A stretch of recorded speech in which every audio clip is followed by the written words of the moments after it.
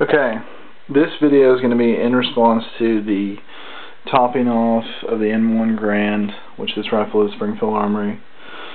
And, uh, this will work with any Grand, no same model on this one. It's, uh, I already finished the stock actually, and I did a linseed oil finish, and I think it turned out pretty good.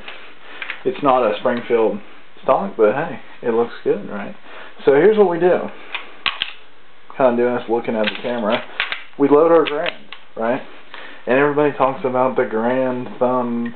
Ooh, you have to actually push the bolt forward to get that first round. I'm not really letting the bolt slam forward. Well, I will. So I've got, let's see, two out of the eight.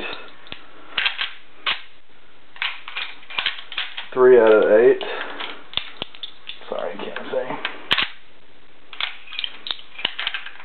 Alright, I got four shells out of eight. Now this button on the side of the grand, you just simply hold the bolt back, push it, and then let the bolt come forward again.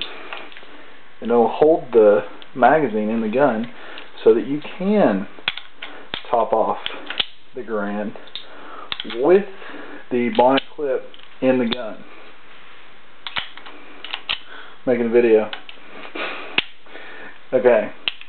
So then you can top off the, the clip in the gun and also remove the magazine as well. So that's pretty cool.